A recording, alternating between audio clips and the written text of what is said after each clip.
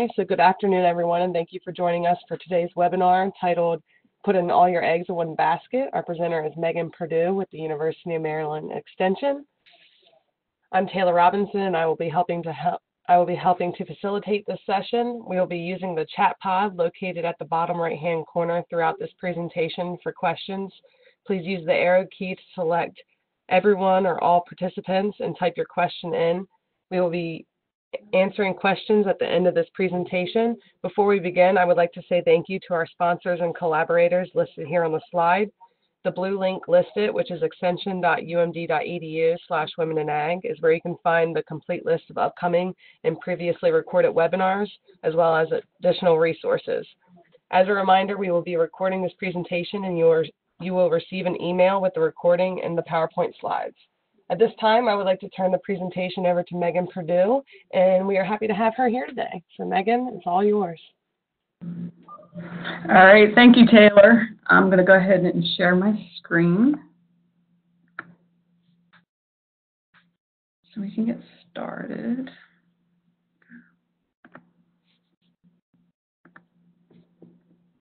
And make a couple of adjustments.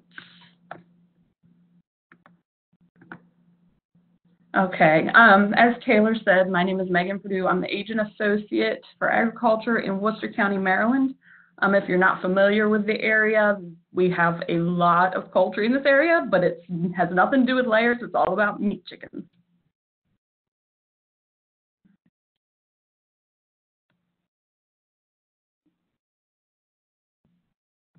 All right. Before we get started talking about the chickens, I wanted to talk about the egg because that's what we're in this business for. When we have backyard layers, we want ultimately we want an egg. And I find it helpful to understand the anatomy of the egg so you can understand why things may go wrong and why we handle eggs the way that we do. Um, the first thing that everybody notices about the egg is the shell. Some of us select for color of the shell when we select chickens. Um, but the shell is there, it's to protect the egg, it's protect the em potential embryo, it's protect the yolk, which is the nutrition for the embryo. The shell is very porous, and that's important to keep in mind when we talk about cleaning eggs because we can, if we do things incorrectly, we can actually contaminate and draw bacteria into the egg um, and ruin our egg. So keep in mind that they are very porous. There's thousands of pores in those shells. Um, when an egg is laid, it also the hen deposits a cuticle around that shell to seal up the pores. But if you wash it, you wash off that cuticle. Inside the egg is the albumin, or the egg white, as most of us know it for. It's also antibacterial. Again, that helps protect the potential embryo, the yolk, that provides nutrition for the embryo. And then we all know what the yolk is. We've all seen the yolk. Um, but keep in mind that is the nutrition for a developing embryo. It contains a lot of nutrients, which also means that if bacteria enter it, it's a great um, platform for that bacteria to grow and multiply. So when we have an egg, the average egg is about two ounces. 11% of that weight is the shell. Over half of it is the egg white, and just under a third is going to be the yolk. Um, inside the egg, it's mostly made of water. The whole egg itself is 74% water. 13% protein, 11% fat. The egg white is mostly water, 88%, with 11% protein. The egg yolk is just under half water, 17% protein, and 33% fat. Again, keep in mind with the egg yolk that that is nutrition for a developing embryo, so there's a lot of nutrition just in that yolk itself. Um, if you are going to be selling eggs, I found this uh, label to be very interesting, and you can download it at eggnutritioncenter.org, but it gives you all the vitamins, the average amount of vitamins and nutrients that are in an egg. So you can see there's vitamin D, vitamin A, vitamin B6, biotin, along with the fats, the protein.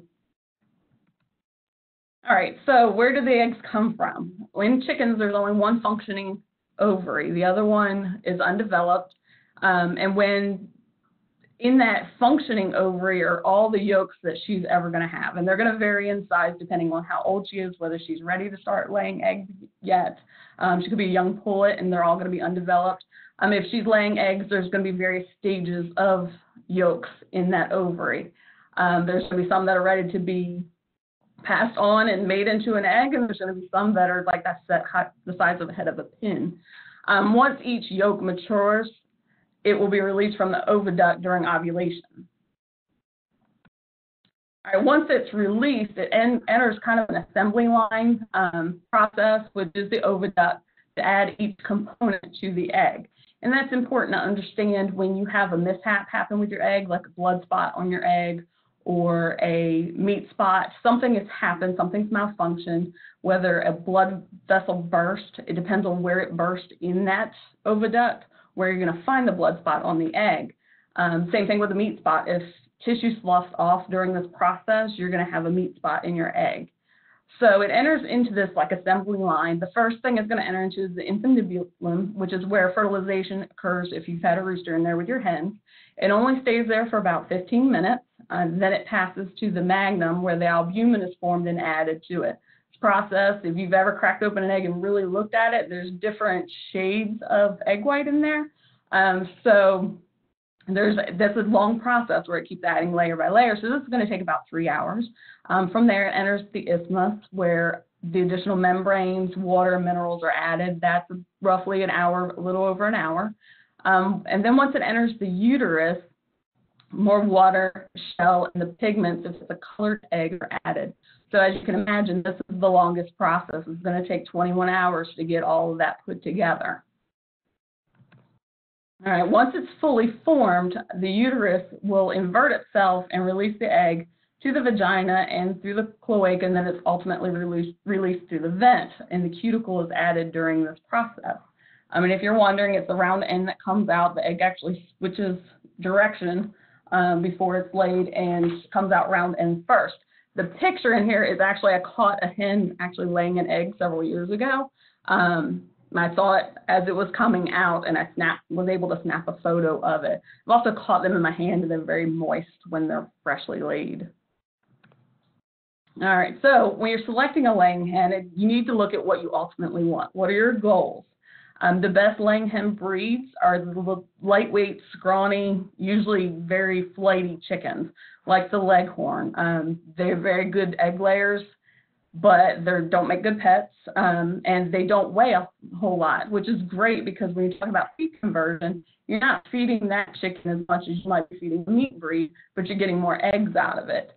Uh, the photo was one that I staged um, because we my pastor really likes double yolk eggs, so I we were getting a lot of them. We had some very large meat birds that kept producing double yolk, and we also have bantams, so you can see the little teeny bantam eggs, which are the blue and the green ones, and these monster brown double yolk eggs. And I just did it for a joke for posterity um, to make a point, and I put them all, spaced them all so they all looked very mismatched. Um, but when you get your chickens, your pullets, um, if you, and if you're wanting laying hens, then you want to select pullets. You don't want straight run because straight run are going to be a mix of males and females. Um, so you select your pullets. Most of them will start laying somewhere between 18 and 22 weeks. Um, once the production starts, the eggs are going to be small and it's going to be sporadic. So you might only get one egg every few days. As they mature, it'll be more consistent. Um, the egg laying breeds, the good egg layers can lay as many as 280 eggs a year, which is pretty spectacular when you think about it. The hen, she'll lay the largest quantity of eggs during her first year of production. So when she, once she starts, that first year, she's going to lay the largest quantity, the most eggs that she will ever lay in a year. Um, the meat breeds, they're going to lay significantly less per year. Some of them are going to be 100, somewhere in 100 to 200 eggs, versus our really good egg layers that can lay almost 300 eggs per year. And then your hens are going to typically molt after they've been laying for a year. Um, once they molt, you're going to get larger eggs from them, but you're not going to get as many per year. All right, in order to get the eggs, sorry, I have a notification. Um, you need to be feeding your chickens well. So they need to have good nutrition. Um, overweight and underweight hens are going to lay smaller eggs and lay less than hens that are in good body condition. So we saw that what nutrition is in an egg, in order for that hen to put that nutrition in the egg, she has to have that nutrition. So they should be fed a good layer ration once they reach laying age. So your commercial laying hens, um, those rations are usually balanced with the appropriate amount of nutrients, the right amount of protein, the right amount of calcium and phosphorus. For a laying hen, she needs roughly 16% protein. And that can depend on how much she's eating. Um, if they're not eating as much because of the weather's too hot, then you might need something that's a little bit more nutrient dense. Uh, but your calcium and phosphorus, always needs to be in balance. Um, calcium is very important for that eggshell. It's made out of calcium. And then the hens should be fed free choice. They eat to meet their nutritional needs. Um, if you have an overweight or an underweight hen, usually if underweight, you know you're not feeding it or there's some health problem going on. If she's overweight, maybe she is picking out a little bit or maybe she needs more exercise. But generally, they're going to eat to meet their nutritional needs, especially while they're laying. And then you can offer oyster shells, free choice. Um, that's a good source of calcium to make sure they are taking enough calcium in. I know there's a lot of people that like to give their hens access to pasture, and that's not a bad idea. Um, when they're on pasture, they can forage for insects and grasses, but keep in mind that they get very little nutrition from pasture. They're not ruminant animals. It's not easy for them to digest grasses like it is for a cow or sheep or a goat. Um, they're going to eat insects and they're going to get most of the nutrition from that pasture off of the insects, but keep in mind those insects are limited in number. So if you want them to keep getting the nutrition from the insects, you're going to have to move them to a different area once they clean out the area that they're in. Um, but what it will do for them is going to provide them lots of exercise, which is great. Um, that may prevent them in boredom, which can get them into trouble, especially when they're laying. Um, but keep in mind, too, that once you give them access to pasture, it may leave them more vulnerable to predators. Um, so the more open the area is, the easier it is for a predator to get them, especially if they're in like electric netting or something where it has an open top. Um, if you have eagles or hawks, that would leave them very vulnerable to that. Um, in the picture, some of you might find it a little gross, but um, I actually just kidded a goat, and the hens immediately ran up to it and started eating on the afterbirth. So they will eat whatever it takes to get their nutrition. Um, most people think that they are more the only vegetable matter, but they'll eat insects, They'll eat small snakes, they'll eat small rodents, they'll eat whatever they can get some nutrition out of. All right, when you have smaller flocks, probably the best thing to do is to go buy a commercial laying hen feed from your feed store.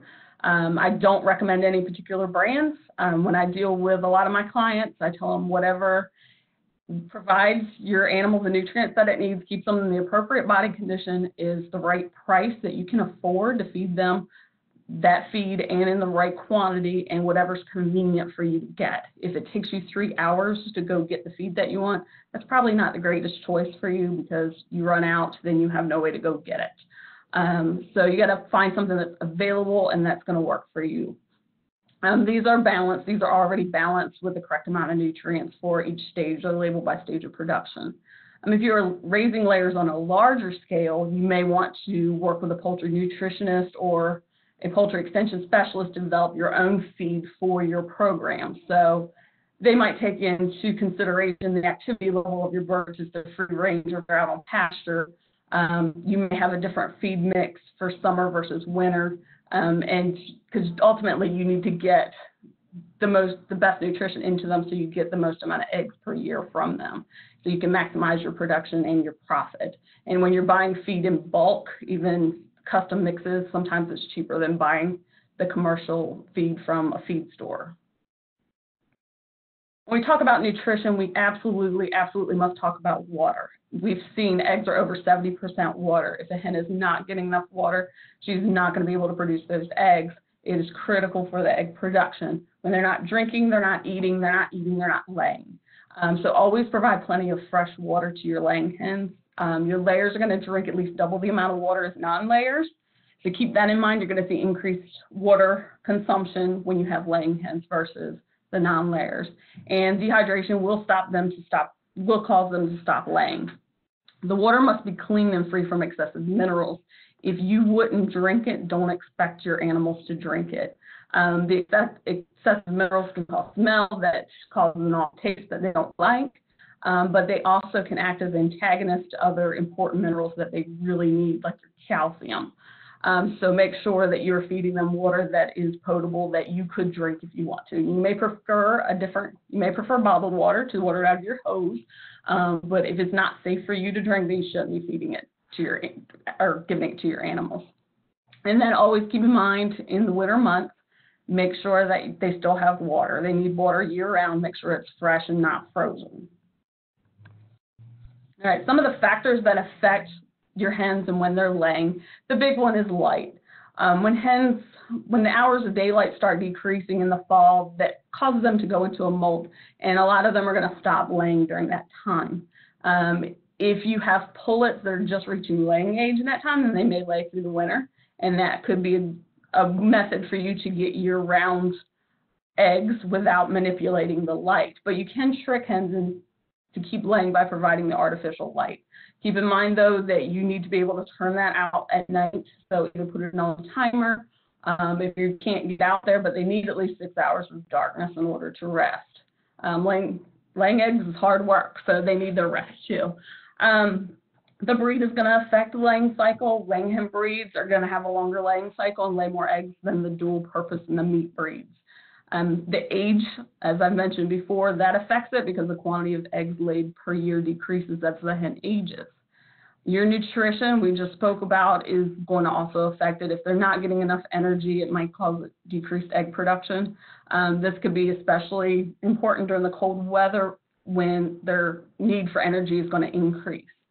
Um, stress is a big one. If there's an environmental stress, predators, um, change in weather, you've moved them from one coop to the other, that can cause them to stop laying for a period of time, and then disease. Um, hopefully, nobody has very many problems with disease in these small flocks, but um, that can be a signal that something's going on if they stop laying. All right, so next I want to talk about health problems for layers, and a lot of this information I got from our poultry veterinarian on campus. Um, he's done a lot of good presentations on um, diseases and health for chickens. Um, the first one, which might be a more common one for a lot of people, is going to be internal parasites. Um, most people who have raised any kind of livestock are familiar with internal parasites. Um, if you have multiple species, hopefully you have less of a problem with it. And usually, if the more confined they are, the more of a problem you have with the internal parasites.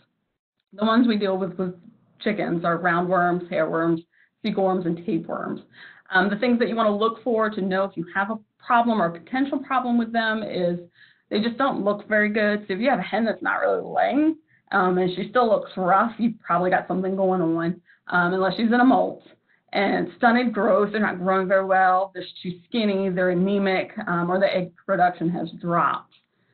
For treatment, there is a dewormer for chickens, um, but to prevent it, you want to rotate the birds in their yards or their pens so they're not picking the, they might deposit the worms, but they're not picking them back up. Um, you can do worm floss regularly, especially if you have a problem with it, um, especially if you have a ground or a floor pen. And they also offer medicated feed that contains the broad spectrum dewormer. Um, if you do have par internal parasites, you can treat your infected birds with a dewormer. Um, there's one that is approved for poultry by the FDA. It's only effective against two worms. And when you are using any type of medication, no matter what the species is, you have to follow the manufacturer's directions for the species and um, the dosage, and then follow the withdrawal times, especially if you're raising an animal for meat or eggs, like we do in poultry, or milk, if we do in other livestock. Um, if you are not using it on the species that it is labeled for or at the dosage, because I know we all get online and we read about everybody's secret dosage that they use. If you're not following those directions, then you need to be under the direction of a veterinarian that works with you um, so that you are mainly because of those withdrawal periods, but your veterinarian needs to be involved in those decision making. The veterinarian can prescribe it's something that's not labeled for that species, but you can't do it on your own unless you are working with a veterinarian. Um, in addition to internal parasites, birds can get external parasites. Um, the ones that are most common with chickens are the scaly leg mite, chicken mite, and northern fowl mite. Um, some of the signs that you might be dealing with a scaly leg mite are scales and crusts in the leg, combs, and wattles, so anything that's not covered in feathers. Um, the northern fowl mite, you're going to see blackened feathers, scabby skin around the vents. For the scaly leg mite, you need to cull or isolate those affected birds, and you can apply an oil-based product um, like petroleum jelly or 50-50 kerosene and cooking oil mix.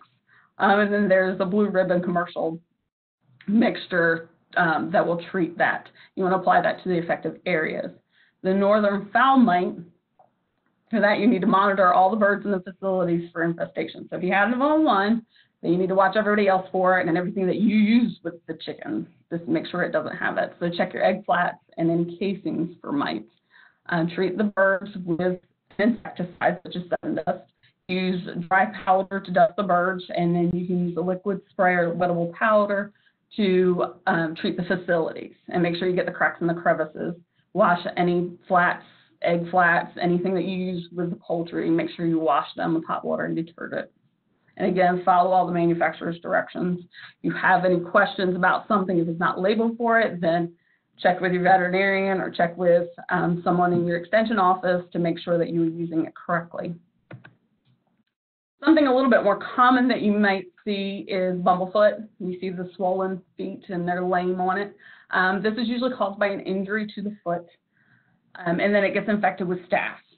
So some of the com common causes of the injury are going to be like if they're on a rough perch and they get a splinter, on a wire floor and they get cut. Um, you have poor bedding that maybe sticks in them. The bedding quality isn't the greatest. That can cause them to get an injury and it get infected. The signs you're going to see is the bird's not going to be walking very well and the foot's going to swell. And under that swelling, if it doesn't burst on its own, it's hard pus-filled abscess. Um, to prevent that, that's always best to prevent these things, is make sure that anything that they are, their feet come into contact with is good quality, is not rough, um, especially their bedding. Keep everything clean, dry, and deep so they don't go through it because you know chickens love to scratch. Um, keep your perches, low, perches lower to the ground um, so that your big birds don't get injured when they jump. Um, and then remove anything that could potentially injure their feet. Um, if you do end up with a bird with it, you can soak the foot in warm water and Epsom salts.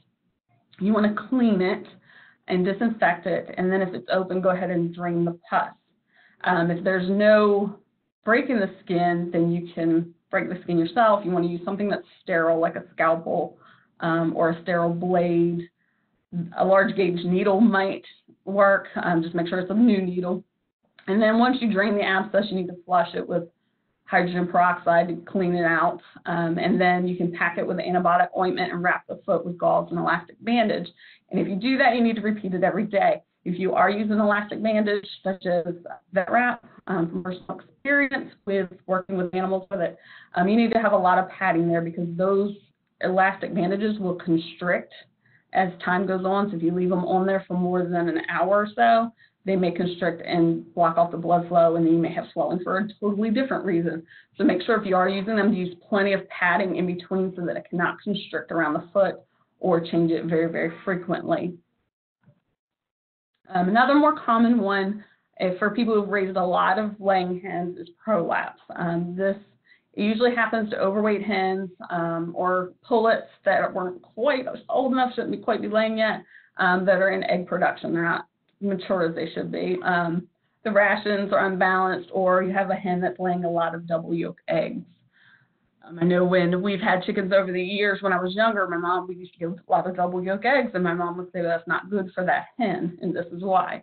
Um, some signs before, you know, if you don't see the prolapse, some signs might be a blood streaked egg, um, or you can see the uterus stays inverted and outside of the vent, like the picture, or you see other chickens pecking at it. Um, to prevent this, you don't want to photostimulate your pullets who aren't quite mature yet. They need to be at the appropriate weight. Make sure your diet is balanced for them and avoid um, light intensity that is too high. And then decrease the feed consumption if your flock is producing too many double yolk eggs. For treatment, it's very unlikely that it's going to be successful, but it doesn't hurt to try. Most people like to try something. Um, so if the other hens are if she's in there with other hens, then you need to use a low intensity red bulb so they can't see the prolapse. Um, you can try to gently massage the prolapse back inside if it's new, a new prolapse. Um, and then you need to isolate your affected hens because they're obviously not going to be feeling well and they don't need the stress from other chickens pecking at them. Egg binding, um, this is when an egg gets stuck in the oviduct, so she can't pass it, and it is deadly. So this can happen to overweight hens, um, hens that are producing large eggs, hens that have a calcium deficiency or a disease. These can all contribute to an egg getting stuck. Um, some of the signs might be the hen is lethargic. Um, she might see her straining, might be a swollen abdomen, a swollen vent, or you may just find a dead bird. Um, so for treatment, really, in order to be effective, you need to contact a veterinarian. Um, but if that is not an option for you, you can palpate to feel the egg and try to get it out. Um, if everything's too tight, you can try to warm the muscles to relax the vent. Um, if all else fails, you need to carefully puncture the egg and remove the contents. So remove the contents of the inside of the egg, try to remove the large pieces of shell. Um, just be careful that you don't injure the hen while you're doing this. But if you do leave her untreated, she'll go into shock and she will die. So this is something where you have to act, you have to do something, or you can call her. Um, but something needs to be done because she will die if you leave her. And occasionally we all get bad eggs. Um, an occasional odd-shaped, bloody or wrinkled egg is or missing shell. Gotten a couple of those. Those are those are the ones I like the most because um, they're intact with the membrane. Um, that happening occasionally is not necessarily a problem. If you get a lot of those weird misshapen eggs or bad eggs, there could be a health problem such as disease. The birds may be stressed. Nutrition might not be right, or they might just be getting older. Um, I found this one right after I put together this presentation the first time. Um, I found this uh, common, 20 common eggshell quality problems from Alltech. I've put the address in there where you can download it. It's a PDF file. Um, but this is interesting to keep on hand in case you do get an odd egg. You can look and see what the causes are um, and see if it's something you should be worried about or not. All right, not everything is a health problem. Some of these problems we have with chickens are behavioral problems. Um, so the first one I want to talk about is egg breaking. Probably going to be fairly common, especially if you have a large amount of birds. You're going to find one bad hen that likes to break the eggs. This is considered a form of cannibalism. Um, some of the signs might, you just might see a broken egg in the nest of eggs, or you might see the hen with yolk on her face. Then you know who the culprit is. Um, for this, you want to remove the perpetrators as soon as possible because they'll teach this behavior to others. They're going to be breaking your eggs. They might not break just one egg, they might break several eggs. Um, you can call her, um, you can isolate her, put her in a cage with a fake egg in her nest. So hopefully she pecks at that and realizes she can't break that and gets out of the habit. But the sooner you get her out, the better, your better chances of getting her to break that behavior are. If you let it go on for a long time, you're not going to be able to break the behavior. And sometimes you might you aren't able to break the behavior anyways, but you don't want her to teach that to others. You don't want her to ruin your eggs. Um, to prevent this, you don't feed eggs to chickens. They love the taste of them. You don't want them to recognize that it's an egg and decide to start breaking them themselves. So if you are feeding any shells to chickens, then you want to make sure that you crush them so they don't recognize them. You can put fake eggs in the nest. That way, if they test the waters and try to break that, they realize you can't break it, they won't try others. Um, if you're having big problems with it, choose less aggressive breeds. Some breeds are more likely to do it than others. And if you know you have a bad hen that does this, do not hatch any chicks from her. Another problem that you may run into is broodiness. Um, again, this might be a breed problem. Some breeds are more prone to do it than others. Um, the signs, it's hard, sometimes hard to distinguish between a hen that's broody and a hen that's just laying her egg. Um, but you have a hen that's been there on a nest for a long time and she's being very protective of the nest, she's probably getting broody. Discourage it as soon as possible because once she gets broody, the longer it takes her to get out of that broodiness, the longer it's going to take her to start laying eggs again. So you want to, re- the first thing you do is remove the eggs from the nest. Um, you can remove the hen from the nest. If she still returns to it, you can destroy the nest. You can block her from getting to the nest, or you can put her in a different pen if necessary. Um, if all else fails, you can, if you have um, some hens that you want to hatch some eggs from, you can let her do the hatching. Um, some of these hens will stay on an empty nest and they won't leave until they get a live chick with them. Um, so you can use her to incubate your eggs. They will starve to death. Some of them will stay on the nest and starve to death. If you don't do either break up the brooding behavior or give them an egg to set. Um, or if you don't, if you're not interested in hatching any replacement chicks, then you can call her because while she's broody, she's not laying any eggs for you. And she's probably going to do it again next season. All right, a totally normal process that doesn't look very nice but occurs every year um, is molting. It happens once a year after the hen has been laying for a year. They lose their feathers and they replace them with new feathers, and this happens in a step-by-step process. It usually starts happening in the fall when the days are shortening. Um, your good layers are going to wait until late to molt, and they usually will molt very fast um, versus the poorer layers that molt slow. Um, they're going to stop laying during the molt because they're redirecting all of their nutrients to making new feathers. Um, but this can be caused by other things such as disease and stress. Usually the molts are not a problem, but keep in mind I had one that molted extremely fast was almost bald and a cold snap hit. We had to move her to a pen to keep her protected from the cold air. Um, the next year, she did the same thing. We couldn't catch her and we lost her during a cold night um, to exposure. So keep an eye on your hens. If you notice your good layers are molting very fast and losing a lot of feathers all at once, if it's getting cold, you need to take precautions and move to a warmer coop. All right, so we've talked a little bit about lazy layers. Um, so we're going to talk about how to distinguish your good layers from your lazy layers.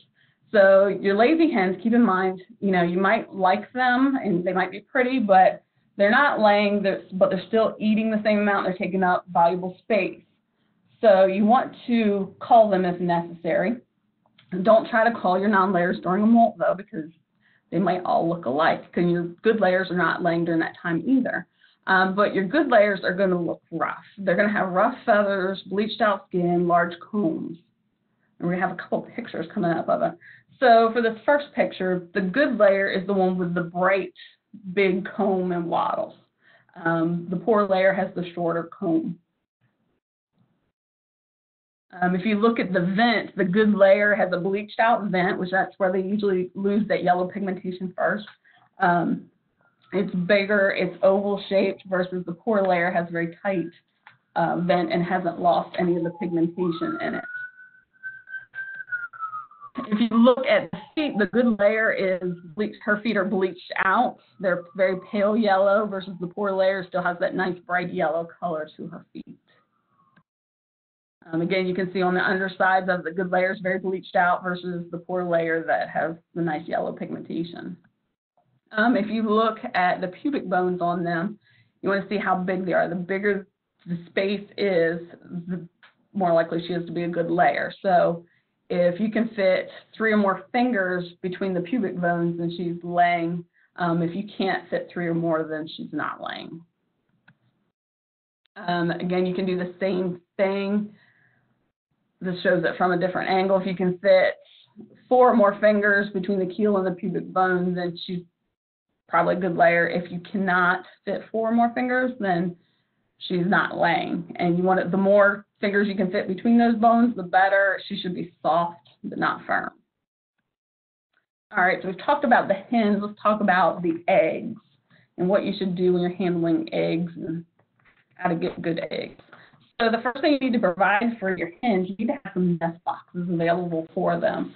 Um, this is going to encourage them to lay in an area where you can find them, hopefully, and not hide them. Um, you want to make sure they're pretty spacious. So for most hens, most standard size laying hens, you need at least 12 inches by 12 inches by 12 inches. If you have larger breed birds, you want to make them larger. Um, plan for one nest box for every four to six hens most of the time they find one box that everybody wants to lay in because that's a good box and they'll stand in line they'll run each other off of it. Um, but hopefully you have more options and they will find the other nest boxes. And make sure they're sturdy. If they jump up there and it's not sturdy they're not going to feel safe. They're not going to lay there. You want it in a shaded area. This is a private thing for them. They want to feel safe and they want to have privacy. They don't want potential predators coming by. They don't want other animals lurking by. They don't really want you coming by and peeking in on them. So make sure that it's got some, it's kind of dark and shaded. I personally like a little bit of light through there because I want to know what I'm sticking my hand into. Um, the picture off to the side is actually a rabbit hutch that our hens decided that they prefer to fancy uh, nest boxes that my brother built. And they all like to lay in that one rabbit hutch, which is very spacious and very nice. that you can make them out of anything. The center picture on the bottom is just uh, feed bar- or old barrels that they cut the lids off of to make a nest box. Place an indestructible fake egg in there to encourage the other hens to lay because if one hen has laid an egg in there, then they think it's safe and they'll go back and lay their eggs there too. Uh, but they also can't break it, so it discourages bad behavior. Don't place them under a roost. While they're roosting, they're also pooping. Um, so your nest boxes will fill with manure, and that's what that one picture shows. If you look at the rail, um, there's all kinds of manure up and down that rail from where they nest, and they're actually roosting up in the rafters of a shed. Use good quality bedding. Change it regularly, or if it gets dirty, you want to change it so that your eggs remain clean. Um, the hens are going to prefer soft spots to lay eggs in, so they might prefer your hay shed to a nesting box if you have hay. Um, but this good bedding will help keep them clean. It will prevent them from breaking the eggs. So the egg has a soft spot to land. Um, put them in an area where they may be predators. Um, that cat picture is that, that cat has actually made himself a bed in the nest box. Um, so the hens no longer use that nest box. When you collect your eggs, you want to collect the eggs at least once a day, preferably two or more times a day.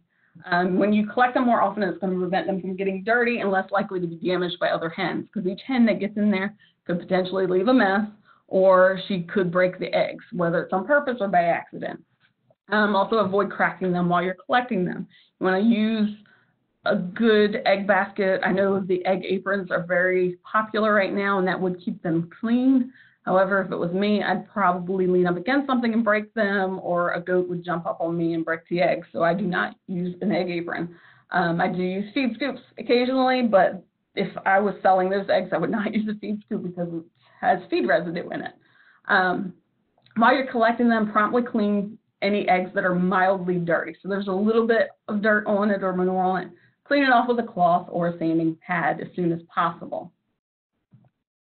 Um, while you're collecting eggs, search for hidden eggs. The one picture shows the hens hidden a nest behind the hay. Nobody saw it until we used a bunch of the hay up, and there was a huge nest of eggs in there. Um, those will draw, not only do you lose those eggs, they go bad, but they also draw stuff that you don't want, like snakes to the area. Um, and if you don't know, snakes can kill your chicks too. I think it was yesterday we had a six week old pullet that was killed by a snake and she was too big for him to eat, so he spit her back out. Um, you could tell because her neck and her head were soaking wet and she was in the middle of her cage. Her cage was completely enclosed. So you don't want to draw anything to your your coop or your nesting area. So make sure you keep all those eggs picked up and look for the hidden ones. Um, sometimes the hen will get caught short. Um, the picture with the sheep in it, if they look at the arrow, that's actually an egg. I guess the hen was out cleaning up what the sheep had left behind, found a little bit of grain in the feed bunk, and got caught short and laid her egg in the feed bunk. Um, since there was no bedding on there, the entire egg was cracked, had tiny cracks all over it. Um, but it was interesting. I've also found them in the garden before.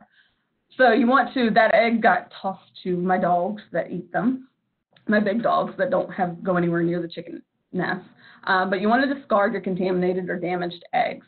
Um, don't feed them to anything that you don't want to develop a taste for eggs, like your other chickens or animals that have access to the nest. Dogs, once they develop a taste for eggs, they're going to become egg thieves and they're going to go and steal your eggs. I had a corgi who was in the area, loose in the area where we keep the hens and he would go and look you'd see him going out and looking for eggs. He knew where all the hens laid eggs. He'd get an egg or two a day and he'd go break it and eat it. Um, but once they develop that taste for eggs with any anim- chicken or any other animal they're going to continue to look for them. So be careful what animals you feed them to. Once you've collected your eggs, um, you need to properly clean them and store them, especially if they're going to be used for human consumption. So clean your slightly dirty eggs. Um, rub, rub, them with fine sandpaper. Um, if you need to wash them, only wash them if you need to. If you need to wash them, you need to wash them in water that you could drink, potable water. And the water, be very careful. The water must be at least 90 degrees Fahrenheit and 20 degrees warmer than the egg. That is to prevent bacteria from being sucked through the pores of the shell. Only use detergents that are approved for washing eggs. You shouldn't submerge them in water. Um, once you're done washing them, our Department of Agriculture recommends that you rinse them with sanitizer Um, the sanitizer they recommend is half an ounce of household bleach mixed with one gallon of water. Once you're done rinsing them with sanitizer, dry them off immediately. Do not wash any eggs that you have used the sandpaper on now. And then keep in mind, once you've washed the eggs, it removes it removes the protective cuticle that keeps the bacteria from entering the egg. Um, our MDA put out a nice um, document, and the link is listed at the bottom that has all the guidelines for small producers cleaning eggs. All right, once you've cleaned them, you need to store them properly. Place them in clean cartons. Um, avoid cross-contamination. So if you have put dirty eggs in that carton, do not put clean eggs in that carton. Um, you should probably dispose of it. Um, so you want them in clean cartons that they're not going to get contaminated with. Store them pointed egg end down and store them at or below 45 degrees Fahrenheit. Um, our Department of Agriculture, they recommend that the shelf life is 30 to 40 days under refrigeration, or if you're freezing eggs, they can be stored up to one year. All right, a lot of people find out that they don't eat nearly as many eggs as they thought they did when they first started purchasing chickens. And sometimes you purchase chickens based on looks without thinking about how many eggs you actually need. Um, and it can get out of hand pretty quickly. Um, so if you find yourself with an excess amount of eggs and you want to sell them, you need to check with your State Department of Agriculture to see what the regulations are regarding selling or even giving away eggs for human consumption, animal consumption, or incubation. Um, these regulations may include that your flock may have to be registered with the state. Um, some states require salmonella testing. Um, the eggs may need to be graded and sized and you have to adhere to storage guidelines many times. For packaging, they may require specific things on the packaging, like labeling it with the flock registration number, lot number, grade, size, your seller information, a safe handling statement, um, as well as many other things they could put on there. So make sure you check with your Department of Agriculture to see what those restrictions are. All right, this is a friendly reminder from the CDC about keeping your family and your flock healthy. Um, wash your hands after you've been handling poultry products or working with your chickens, um, cleaning anything out. Most health departments recommend that children under the age of five and adults older than 65 don't handle poultry, and especially those with weakened immune systems. Um, and you don't want to kiss and snuggle your chickens and keep them outside versus coming inside. All right, and if there are any questions, I can take those, or you feel, can feel free to email me if you have any questions, and I will get you an answer.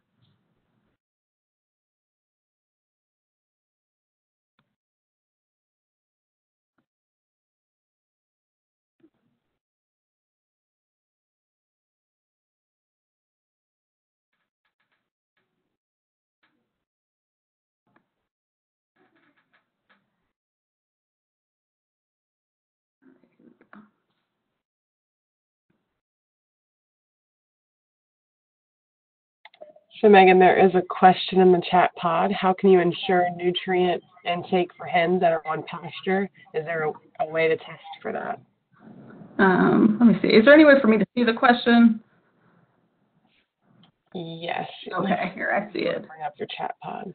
Okay, how can you ensure nutrient intake for hens that are on pasture? Um, for chickens, I wouldn't count on a lot of of them getting a lot of nutrition from their pasture.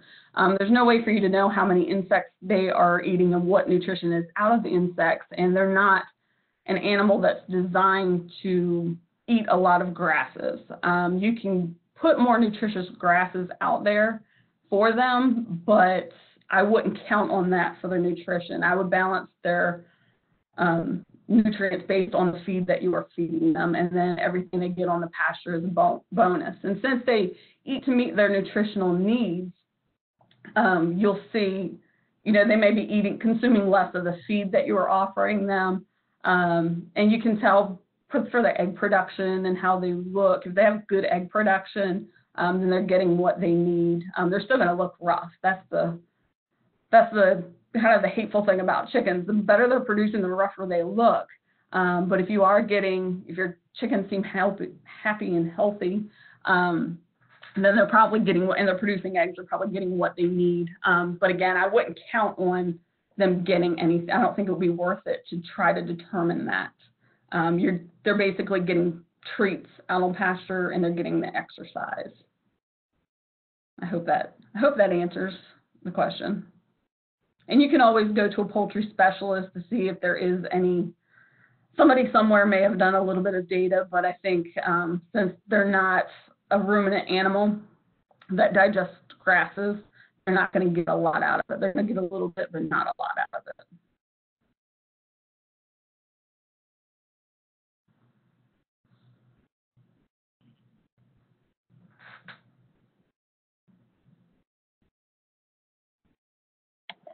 Right, and there's another question. How often do you recommend giving broad dewormer? Some people never give it and are fine. It would depend on if you have a problem with parasites. Um, if they're confined, then you may have to, and you've had a problem with it, you may have to give it monthly. Um, but if you're not,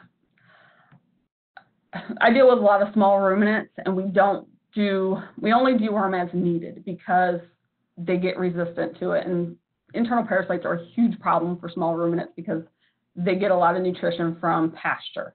Um, so they're constantly eating on the ground where the parasite larva is.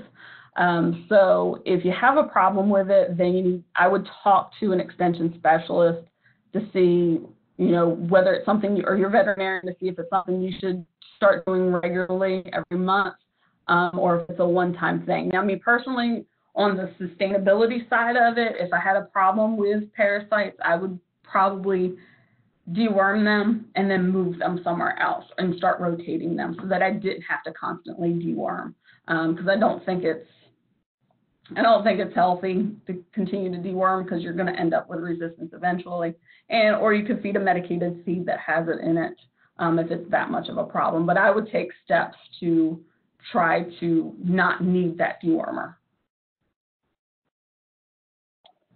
Very good. And did you, there's another one, do you recommend removing new chicks from the flock for protection? Um, that would depend on where you are. Um, like I said the other day, we had a couple of hens that hatched. We, they got very broody. Finally gave in, let them hatch a chick and keep the chick because they were not, they were not, would not leave the nest without a live chick. So we put them in pens that were safe from the cats because usually cats are the ones that are going to get your chicks. Um, or if you're in an area with a lot of rats, a rat would. But in our in our house, it's the cats. Um, and if they're running around the barnyard, the cats are going to get them. Um, put them in a pen we thought was very safe, and I had two-week-old chick that just disappeared.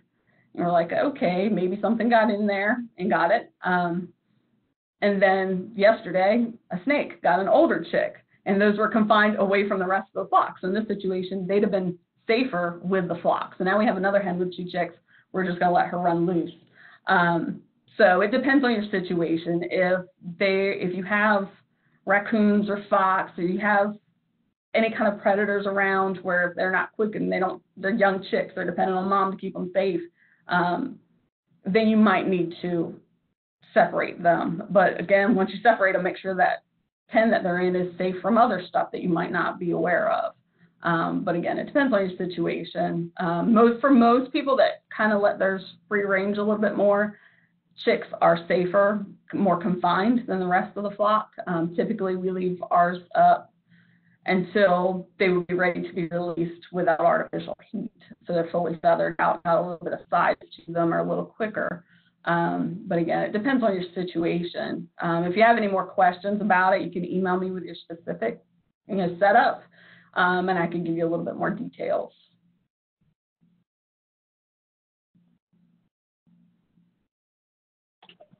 Very good.